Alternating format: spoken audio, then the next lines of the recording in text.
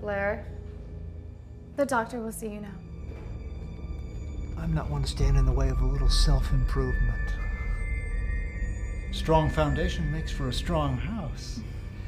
In fact, you know, I'm thinking we can do more. Oh, oh what do you suggest?